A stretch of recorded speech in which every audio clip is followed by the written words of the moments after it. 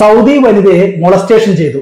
അതായത് ലൈംഗിക അതിക്രമം നടത്തി അഥവാ സ്ത്രീത്വത്തെ അപമാനിച്ചു എന്ന പേരിൽ Ernakulam central police Mallu traveller Shakir സുബാനെതിരെ register ചെയ്ത എഫ്ഐആർ അതിനെതിരെ മല്ലു ട്രാവലർ ഷാക്കിർ സുബാന് എറണാകുളം ഡിസ്ട്രിക്ട് ആൻഡ് സെഷൻ കോടതിയെ സമീപിച്ചിരുന്നു. ഒരു മുൻകൂർ ജാമ്യത്തിന് വേണ്ടിയിട്ട്. C R P C four thirty eight പ്രകാരം.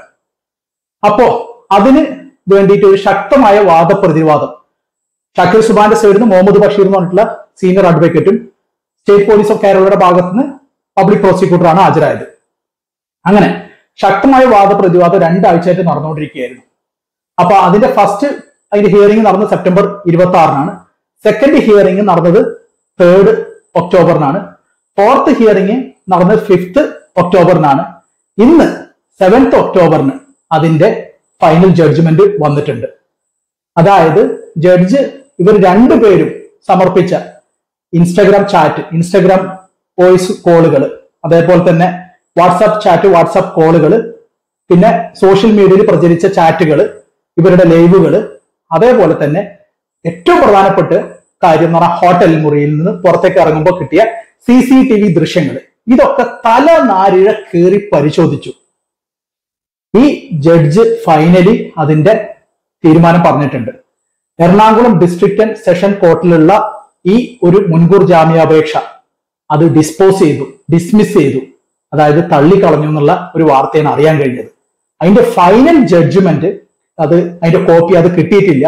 പക്ഷെ അറിയാൻ കഴിഞ്ഞത് എന്താണെന്ന് വെച്ച് കഴിഞ്ഞാൽ സോഫാർ അറിയാൻ കഴിഞ്ഞത് ഈ ഒരു മുൻകൂർ ജാമ്യാപേക്ഷ അതായത് സ്ത്രീത്വത്തെ അപമാനിച്ചു എന്ന പേരിൽ ഈ ഷാക്കിർ സുബാൻ അതായത് മല്ലു ട്രാവലർക്കെതിരെ എറണാകുളം സെൻട്രൽ പോലീസ് രജിസ്റ്റർ ചെയ്ത എഫ്ഐആർ രണ്ട് എട്ട് ആറ് എട്ട് ബാർ രണ്ടായിരത്തി ഇരുപത്തി മൂന്ന് എന്ന് പറഞ്ഞിട്ടുള്ള ആ ഒരു കേസ് അത് ആ ഒരു മുൻകൂർ ജാമ്യാപേക്ഷയിൽ ഈ ഒരു judge district session court Ernakulam അവർ വിധി പറഞ്ഞു.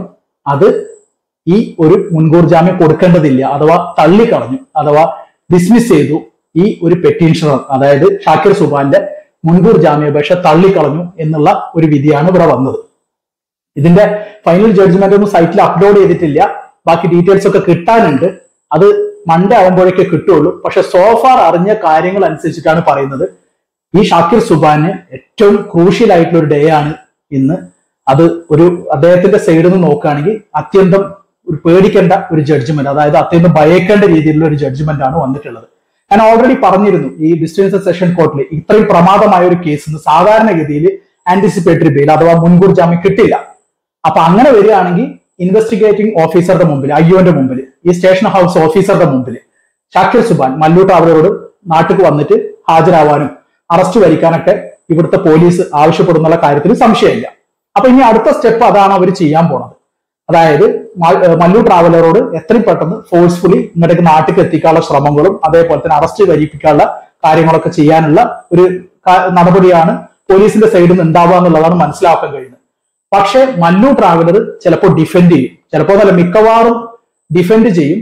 പരമാവധി അറസ്റ്റ് നീട്ടിക്കൊണ്ടാവാനായിട്ട് നോക്കും. എന്നിട്ട് ഈ സമയത്ത് തന്നെ ഹൈക്കോടതിയിൽ ഇതിന്റെ പകർപ്പ് കിട്ടിക്കഴിഞ്ഞു കഴിഞ്ഞാൽ ഇതിന്റെ സർട്ടിഫൈഡ് കോപ്പി വെച്ചിട്ട് ഹൈക്കോർട്ടിൽ ഒരു മുൻകൂർ ജാമ്യാപേക്ഷ ഫയൽ ചെയ്യാനും സാധ്യത കാണുന്നുണ്ട്. അതിനുള്ള സാധ്യത കൂടുതൽ കാണുന്നത് അങ്ങനെ ഇത് മാക്സിമം നീട്ടിക്കൊണ്ടുപോയിട്ട് അവിടെ നിന്നെങ്കിലും ഒരു മുൻകൂർ ജാമ്യം ഇദ്ദേഹത്തിന് കിട്ടാനായിട്ടാണ് ഇദ്ദേഹം ശ്രമിക്കുക.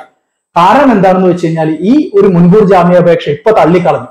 അതിന്റെ പേരിൽ എന്തായാലും ഇവിടെ നാട്ടിൽ വന്നു കഴിഞ്ഞാൽ അറസ്റ്റ് പോകേണ്ടി വരും. അതേപോലെ തന്നെ ഒരു പതിനാലോ അല്ലെങ്കിൽ നാൽപ്പതോ ദിവസം ഷാക്കിർ സുബാൻ റിമാൻഡ് പോകേണ്ടി വരും. അതായത് ജയിലിൽ പോകേണ്ടി വരും. അപ്പൊ എന്താണ് വരാൻ പോകുന്നത് എന്നുള്ളത് കണ്ടറിയണം.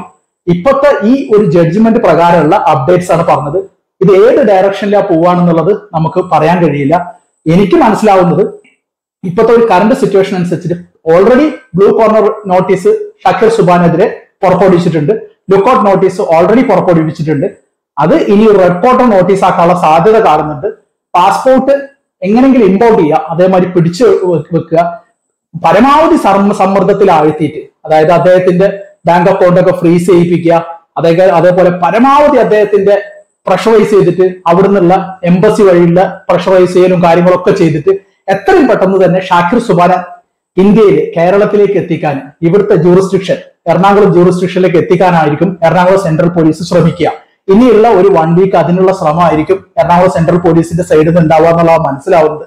അങ്ങനെ വരികയാണെങ്കിൽ ഷാക്കിർ സുബാൻ നാട്ടിലേക്ക് വരികയും അയ്യോന്റെ മുമ്പിൽ ഹാജരാവുകയും അറസ്റ്റ് രേഖപ്പെടുത്തുകയും റിമാൻഡിൽ പോവുകയും ചെയ്യേണ്ടി വരും. എന്താണെന്നുള്ളത് കണ്ടറിയാം. അതിന്റെ ഇടയിൽ ഡിഫെൻഡ് ചെയ്യാൻ പറ്റുകയാണെങ്കിൽ മല്ലു ട്രാവലർ പരമാവധി ഡിഫെൻഡ് ചെയ്ത് ഹൈക്കോടതിയിലേക്ക് കേസ് പരിഗണിപ്പിച്ച് അവിടുന്ന് മുൻകൂർ ജാമ്യം എടുക്കാനുള്ള ശ്രമങ്ങൾ നടത്തുകയും ചെയ്യുന്നുണ്ടാവാം. ഇപ്പോ ഇതിന്റെ ഒരു ഈ ഒരു പെറ്റീഷൻ ഡിസ്മിസ് ചെയ്തു എന്നുള്ള ഒരു വിവരം മാത്രമേ നമുക്ക് കിട്ടിയിട്ടുള്ളൂ. അതിന്റെ final final order judgement copy ആയിട്ട് നമുക്ക് കിട്ടിയിട്ടില്ല. അത് മൺഡേ ഒക്കെ ആവുമ്പോഴേക്കെ കിട്ടുള്ളൂ. എന്തായാലും കിട്ടുമ്പോൾ നിങ്ങളായിട്ട് ഷെയർ ചെയ്യുന്നതാണ്.